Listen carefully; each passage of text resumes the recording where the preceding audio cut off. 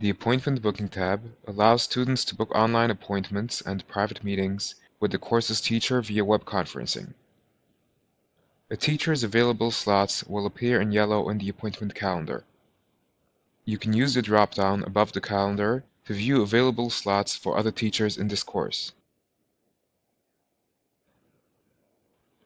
To reserve an appointment, click on an available slot and enter the information for the meeting you wish to schedule.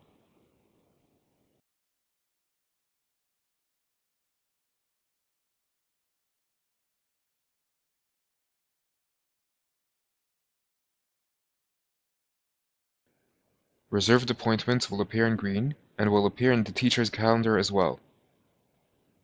Upcoming appointments will appear in the left-hand panel from where students can join the appointment.